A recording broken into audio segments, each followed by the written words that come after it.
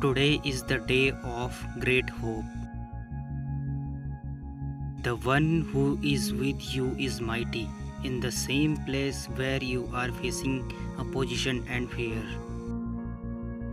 The Lord wants to show His victorious power in and through you.